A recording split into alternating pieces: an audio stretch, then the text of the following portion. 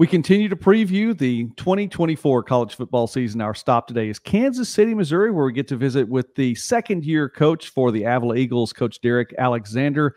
Coach four and seven last season in year one, three and two though in divisional play there, first year of the divisional play there in the KCAC. So you're able to win, get a winning record in that Bissell division, and actually in that won three of the last four. So uh, talk to me a little bit about year one as a whole, and and do you feel like that the momentum at the end is something you can take into this season? Yeah, our first year, I think uh, you know it went well for us. So obviously, we wanted to play a little bit better and have a better record, but I think uh, you know coming in with a new whole new system, whole new offense, whole new defense, all those guys learning a lot of new things. Uh, you know, just coming into the spring Everything was new for those guys. And then uh, once we hit the fall, uh, you know, still pretty new for those guys. And and I think you know the the longer we went on during the season, the better those guys got and picking up what we were trying to uh, install and in those guys uh, offensively and defensively. And like you said, uh, you know, we finished up the division strong, uh, winning three of our last four games, which uh, kind of helped us see that you know what we were preaching can work for us. Um, we just got to make sure that we're all on the same page. Yeah, winning record in divisional play. I, I, know that that has to be something good. Well, spring game this year, so not maybe not the same newness to it. There there's some some faces and names you all are familiar with one another, and then of course the system itself. Talk about the spring game. So our spring game went well. Um, like I said, so this is our second year, and uh, you know, going into spring it was a little bit different because now, hey, we we've got the offense, we have the defense, so now we can work on other things like uh, you know techniques and uh, doing a little bit more individual with those guys, trying to make sure that you know we're teaching those guys everything that we want them to do and how we want them to do it. Um, we didn't have any major injuries, so that was that was a good thing for us. And our, our spring game went well. Uh, you know, those guys competed with each other. Um, and, and spring overall, I believe, uh, you know, is going to help us uh, going into the fall. I, you know, it's always a positive when there's no injuries in the spring game. I'm sure, just uh, a, a, blessing in and of itself, an unspoken blessing. Lots of times, it's not something that that you talk about unless something does happen. But uh, with you coming back, then okay, now year two, uh, you come back. Offensive coordinator comes back. Defensive coordinator comes back. Some of the the folks up there at the at the top end, I guess above the line, you might say. Um, uh, is there anything in particular that you look to improve on with that in in conjunction with the system in place? Uh, of course, um, you know some of the things that we did last year were more our basic offense or base our our defense is not real basic. our, our defensive coordinator likes to do a lot of different things, and uh, you know I think with the with him coming back and the same some of the same coaches uh, coming back, uh, especially defensively, those guys have a better feel for what he's trying to accomplish. And offensively, now we can install a lot more. We can uh, do some of the things that we uh, just not our base offense. Now we can kind of get more intricate and some of the things that we do um, just because now they have a better feel for uh, you know what we're trying to do.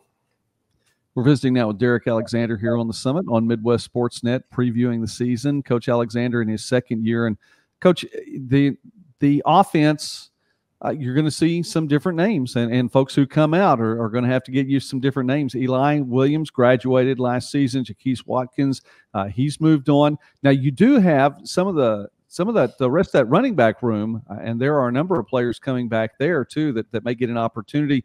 But uh, specifically, Kareem Chambers, kind of a, a wide end, a wide well, a wide receiver, tight end. There we go. I'm trying to combine the two because uh, right. that's the kind of player he is. Uh, talk a little bit about that offense and and uh, Chambers coming back, some new faces. Yeah, well, uh, you know, with Eli leaving, uh, we're working out some other quarterbacks, uh, trying to see, you know, who's going to take over that spot. We've got some transfers coming in, and then, uh, of course, the guys that were already here with Trevor Daniels, um, who did, who did a good job in our spring game. Um, and then uh, we got a couple other guys coming in uh, to to compete in that position. But like you mentioned, Kareem's coming back. Um, he's kind of a converted wide receiver, tight end, like you mentioned. Uh, when I first got here, he was playing uh, wide receiver for us, and uh, we needed a tight end. We only had one, uh, and he was willing to do it. So he kind of moved into that position. So he's kind of a, a multi-position guy. It's going to be great for us. Um, got a couple of our receivers coming back with Kendall Woolley and Jordan Cummings, both who started for us last season. so we should be good outside. And like you mentioned, our running backs. Uh, that room's good. It's pretty young. Um, you know, Mackenzie Carlock did a good job for us last year uh, until he got injured uh, in the games, but he's coming back, and uh, we've got a few few other guys we're working in uh, at running back. Coach, again, new faces. I know we're going to talk about that, which I guess it, it's an opportunity for some of these new faces on the defensive side of the ball to get to get used to what, uh, as you mentioned, is an intricate defense. But you had a lot of, of multi-year starters last season that again just uh, part of part of the game. They move on after a period of time use up that eligibility. So we'll be seeing some new faces on defense. Can you tell us a few of those yeah um, so uh, uh, some of our defensive backs uh, two of our guys graduated that played well for us terrell valentine and uh, trayvon miller uh, so we'll have to replace those guys, but we we do have some guys coming back.